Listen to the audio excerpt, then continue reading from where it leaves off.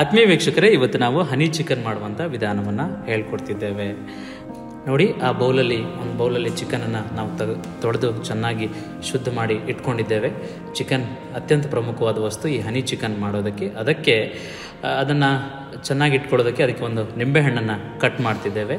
ಈ ನಿಂಬೆಹಣ್ಣನ್ನು ಕಟ್ ಮಾಡೋದು ಮಾತ್ರ ಕೆಲಸ ಅಲ್ಲ, ಯಾಕೆ ನಿಂಬೆಹಣ್ಣು ಅಗತ್ಯ ಇದೆ ಅನ್ನೋದನ್ನು ಕೂಡ ಹೇಳ್ತೀವಿ. ನಿಂಬೆಹಣ್ಣು ಯಾಕೆ ಅಗತ್ಯ ಇದೆ ಅಂತ ಹೇಳಿದ್ರೆ ಅದರ, ಆ ನಿಂಬೆಹಣ್ಣು ಕಟ್ ಮಾಡಿರುವಂಥ ನಿಂಬೆಹಣ್ಣನ್ನು ಚೆನ್ನಾಗಿ ಅದನ್ನು ರಸವನ್ನು ಬರುವ ಹಾಗೆ ಚಿಕನ್ನಲ್ಲಿ ಹಿಂಡಬೇಕು.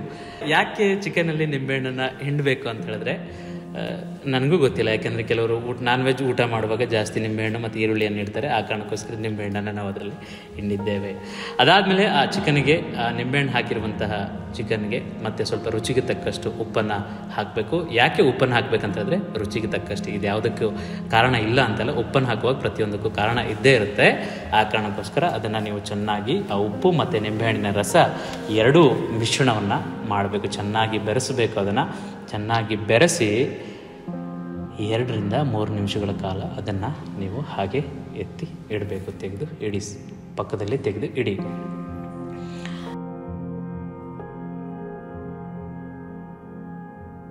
ಅದಾದಮೇಲೆ ಜೋಳದ ಹಿಟ್ಟನ್ನು ಬಳಸ್ಕೊಳ್ಬೇಕು. ನಾವು ಏನು ಕಾರ್ನ್ಫ್ಲವರ್ ಅಂತ ಹೇಳ್ತೀವಿ, ಅದನ್ನು ಒಂದಿಷ್ಟು ಪುಡಿಯನ್ನು ತಗೊಳ್ಬೇಕು. ಆ ಚಿಕನ್ನ ಅಳತೆಗೆ ಅನುಗುಣವಾಗಿ ಆ ಪುಡಿಯನ್ನು ನೀವು ತಗೊಳ್ಳಿ, ಜೋಳದ ಹಿಟ್ಟಿನ ಪುಡಿಯನ್ನು ತಗೊಳ್ಳಿ. ಆ ಆ ಪುಡಿಗೆ ಈ ನಿಂಬೆಹಣ್ಣಿನ ರಸ ಮತ್ತು ಉಪ್ಪನ್ನು ಬೆರೆಸಿಟ್ಟಿರುವಂತಹ ಚಿಕನ್ ತುಂಡುಗಳನ್ನು ತೆಗೆದು ಅದನ್ನು ಚೆನ್ನಾಗಿ ಆ ಹಿಟ್ಟು ಅಂಟಿಕೊಳ್ಳುವ ಹಾಗೆ, ಆ ಕಾರ್ನ್ಫ್ಲವರ್ ಅಂಟಿಕೊಳ್ಳುವ ಹಾಗೆ ಅದನ್ನು ಚೆನ್ನಾಗಿ ಅಂಟಿಸಿ ಪಕ್ಕದಲ್ಲಿ ಎರಡರಿಂದ ಮೂರು ನಿಮಿಷ ಅದನ್ನು ಒಣಗಲು ಇಡಿ.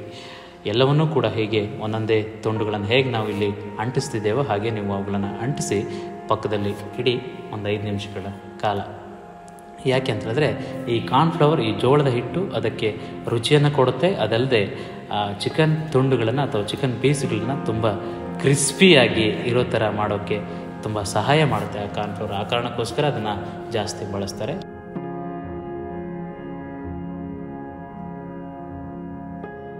ನಂತರದಲ್ಲಿ ಒಂದು ಪಾತ್ರೆಯಲ್ಲಿ ಎಣ್ಣೆಯನ್ನು ಕಾಯಲು ಬಿಡಿ. ಎರಡರಿಂದ ಮೂರು ನಿಮಿಷಗಳ ಕಾಲ ಎಣ್ಣೆಯನ್ನು ಕಾಯೋಕ್ಕೆ ಬಿಟ್ಟಾದಮೇಲೆ ಅದಕ್ಕೆ ಆ ಕಾರ್ನ್ಫ್ಲವರ್ ಅಲ್ಲಿ ಅದ್ದಿ ಇಟ್ಟಿರುವಂತಹ ಚಿಕನ್ ತುಂಡುಗಳನ್ನು ಆ ಎಣ್ಣೆಯಲ್ಲಿ ಕಡಿಮೆ ಉರಿಯಲ್ಲಿ ಅದನ್ನು ನೀವು ಫ್ರೈ ಮಾಡಬೇಕು. ಚೆನ್ನಾಗಿ ಫ್ರೈ ಮಾಡಬೇಕು. ಅದು ಬೇಯುವ ತನಕ ಅದನ್ನು ಫ್ರೈ ಮಾಡ್ತಾನೆ ಇರಬೇಕು. ಯಾಕಂದರೆ ಒಂದು ವಸ್ತು, ಒಂದು ಪದಾರ್ಥ ಯಾವ ರೀತಿಯಾಗಿ ಬೇಯುತ್ತೋ ಅದೇ ರೀತಿಯಾಗಿ ಅದು ತಿನ್ನೋಕ್ಕೂ ಕೂಡ ತುಂಬ ರುಚಿಕರವಾಗಿರುತ್ತೆ.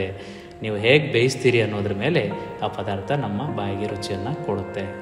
ಮೊದಲನೇ ಬಾರಿ ನಿಧಾನಕ್ಕೆ ಕಡಿಮೆ ಉರಿಯಲ್ಲಿ ಅದನ್ನು ಬೇಯಿಸಿ ತೆಗೆದು ಇಡಬೇಕು ನೋಡಿ, ಈ ರೀತಿಯಾಗಿ ಅತ್ಯಂತ ಶುದ್ಧವಾದ ಕಡಲೆಕಾಯಿ ಎಣ್ಣೆಯಲ್ಲಿ ನಾವು ಈ ಚಿಕನನ್ನು ಬೇಯಿಸ್ತಿದ್ದೇವೆ.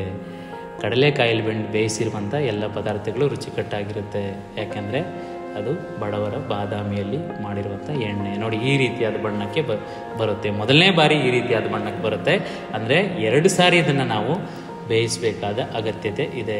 ಒಂದೇ ಸಾರಿ, ಮೊದಲನೇ ಸಾರಿ ಒಂದೇ ಸತಿಗೆ ಬೇಯಿಸಿದ್ರೆ ಅದೇನಾಗುತ್ತೆ ಅಂತ ಹೇಳಿದ್ರೆ, ಕೆಲವೊಂದಿಷ್ಟು ಜಾಸ್ತಿ ಬೆಂದು ಹೋಗ್ಬೋದು ಅಥವಾ ಕಡಿಮೆನೂ ಬೇಯ್ಬೋದು. ಎರಡನೇ ಸತಿ ಅದನ್ನು ಇನ್ನೂ ಚೆನ್ನಾಗಿ ಕಂದು ಮಿಶ್ರಿತ ಬಣ್ಣಕ್ಕೆ ಬರುವ ಹಾಗೆ ಅದನ್ನು ಬೇಯಿಸಬೇಕು.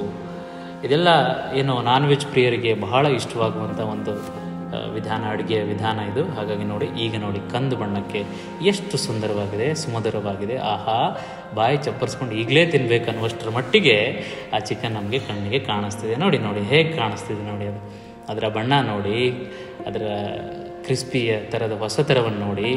ಮತ್ತು ಈಗ ಅದಕ್ಕೆ ಅದಕ್ಕೆ ಇನ್ನೂ ಸೌಂದರ್ಯವನ್ನು ಕೊಡಬೇಕು, ಇನ್ನೂ ಹೆಚ್ಚಿಗೆ ಏನೋ ರುಚಿಯನ್ನು ಕೊಡಬೇಕು. ಇಲ್ಲಿಗೆ ಮುಗಿದು ಹೋಗಿಲ್ಲ. ಅದಕ್ಕೆ ಮುಂದಕ್ಕೆ ನಾವೇನು ಅದಕ್ಕೆ ಒಗ್ಗರಣೆ ಅಂತ ಹೇಳಿ ಕರಿತೀವಲ್ಲ, ಆ ಒಗ್ಗರಣೆಯನ್ನು ಕೊಡುವಂಥ ವಿಧಾನ ಅತ್ಯಂತ ಪ್ರಮುಖವಾಗಿರುತ್ತೆ.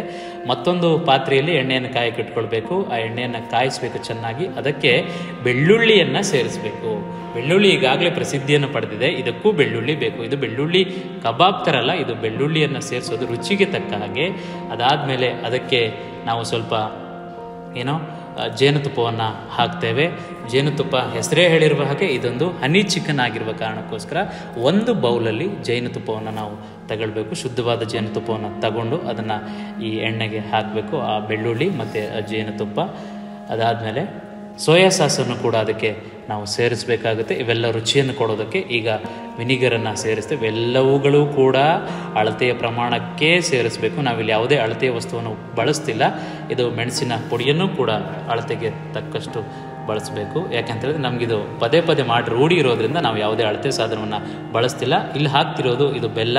ಆ ಬೆಲ್ಲವನ್ನು ಯಾಕೆ ಬಳಸ್ತೀವಿ ಅಂತ ಹೇಳಿದ್ರೆ ರುಚಿಗೆ ಇನ್ನೂ ಸ್ವಲ್ಪ ರುಚಿಯನ್ನು ಕೊಡಲಿ ಅಂತ. ಅದಾದಮೇಲೆ ಅದಕ್ಕೆ ಸ್ವಲ್ಪ ರುಚಿಗೆ ತಕ್ಕಷ್ಟು ಮೆಣಸಿನ ಪುಡಿ, ಅದಾದಮೇಲೆ ಮತ್ತೆ ರುಚಿಗೆ ತಕ್ಕಷ್ಟು ಮತ್ತೊಂದು ಸಾರಿ ಇದಕ್ಕೆ ಉಪ್ಪನ್ನು ಸೇರಿಸ್ಕೊಳ್ಳಿ. ಯಾಕೆಂದರೆ ಇವೆಲ್ಲವುಗಳು ಕೂಡ ಒಗ್ಗರಣೆ ಥರ ಇರೋದ್ರಿಂದ ಅವುಗಳನ್ನು ಸೇರಿಸ್ಕೊಂಡು ಚೆನ್ನಾಗಿ ಎರಡರಿಂದ ಮೂರು ಸತಿ ಅದನ್ನು ಮಿಕ್ಸ್ ಮಾಡಬೇಕು. ನೋಡಿ ಈ ರೀತಿಯಾದ ಬಣ್ಣಕ್ಕೆ ಅದು ಬರುತ್ತೆ. ಈ ರೀತಿಯಾದ ಬಣ್ಣಕ್ಕೆ ಬರೋದಕ್ಕೆ ಕೆಲವೊಂದಿಷ್ಟು ಐಟಮ್ಗಳು ಕೂಡ ಕಾರಣವಾಗಿರ್ತವೆ. ಆ ಕಾರಣಕ್ಕೋಸ್ಕರ ಅದನ್ನು ನೋಡಿ ಅಸಹ್ಯ ಪಡ್ಕೋಬೇಕಾಗಿಲ್ಲ. ಅದು ರುಚಿಗೆ. ಕೊನೆಗೆ ಇಲ್ಲಿ ನೋಡಿ ಅವೆಲ್ಲವನ್ನು ತೆಗೆದು ಏನು ಮಾಡಬೇಕಂತಂದರೆ ಆ ಮಾಡಿರುವಂಥ ಒಗ್ಗರಣೆಗೆ ತೆಗೆದಿಟ್ಟಿರುವಂಥ ಚಿಕನನ್ನು ಮಿಕ್ಸ್ ಮಾಡಬೇಕು. ಈ ಚಿಕನನ್ನು ಮಿಕ್ಸ್ ಮಾಡಿ ಚೆನ್ನಾಗಿ ಎರಡರಿಂದ ಮೂರು ನಿಮಿಷಗಳ ಕಾಲ ಅದನ್ನು ಅದರಲ್ಲಿ ಬೆರೆಸಿ ಇಡಬೇಕು. ಯಾಕಂದರೆ ಎಲ್ಲವನ್ನು ಹೀರ್ಕೊಳ್ಬೇಕಲ್ಲ. ಆ- ಚಿಕನ್ ಆ ಹೀರ್ಕೊಳ್ಳೋದಕ್ಕೆ ಎರಡರಿಂದ ಮೂರು ನಿಮಿಷಗಳ ಕಾಲ ಅದನ್ನು ನಾವು ಇಡಬೇಕು. ಮೇಲೆ ರುಚಿಗೆ ಸೌಂದರ್ಯಕ್ಕೆ ತಕ್ಕ ಹಾಗೆ ಬಿಳಿ ಎಳ್ಳನ್ನು ಅದಕ್ಕೆ ಸೇರಿಸಬೇಕು. ಈ ಬಿಳಿ ಎಳ್ಳನ್ನು ಸೇರಿಸಿ ಎರಡರಿಂದ ಮೂರು ನಿಮಿಷಗಳ ಕಾಲ ಆರಿಸಿ, ಆವಾಗಿಂದ ಆವಾಗೆ ಅದನ್ನು ತಿಂತಿದ್ರೆ, ಆಹಾ, ಚಂದ ಮಾಡಿ, ಚಂದ ತಿಂದೆ. ಏನು ಹನಿ ಚಿಕನ್, ಏನು ಹನಿ ಚಿಕನ್ ಅಂತ ಜನ ಎಲ್ಲ ಓಡೋಡಿ ಬರಬೇಕು. ಹೊಸ ಥರದ ರೆಸಿಪಿಯನ್ನು ಕೇಳುವಾಗ ಹೊಸ ಥರದಾಗೇ ತಿನ್ನಬೇಕು ಹೊಸ ಥರವಾದ ಅನುಭವ ನಮ್ಗೆ ಸಿಗಬೇಕು ಅಂತ ಹೇಳಿದ್ರೆ ಈ ರೀತಿಯಾದ ಆಹಾರ ಪದಾರ್ಥಗಳನ್ನು ಮಾಡ್ಕೊಂಡು ತಿನ್ನಬೇಕಾಗುತ್ತೆ ಹಾಗಾಗಿ ಚಂದ ಮಾಡಿ, ಚಂದ ತಿನ್ನಿ, ಎಲ್ಲ ಖಾಲಿಯಾಗಿಬಿಡುತ್ತೆ. ಇದಕ್ಕೆ ಹನಿ ಚಿಕನ್ ಅಂತ ಹೇಳಿ ಕರೀತಾರೆ. ಈ ಹನಿ ಚಿಕನ್ ಮಾಡುವಂಥ ವಿಧಾನವನ್ನು ನಾವು ಹೇಳ್ಕೊಟ್ಟಿದ್ದೇವೆ. ನಿಮ್ಮ ಮನೆಯಲ್ಲೂ ಮಾಡಿ ತಿನ್ನಿ. ಹನಿ ಚಿಕನ್ ಅನುಭವವನ್ನು ಈ ಕಮೆಂಟ್ ಬಾಕ್ಸಲ್ಲಿ ನೀವು ತಿಳಿಸಿ. ಧನ್ಯವಾದಗಳು.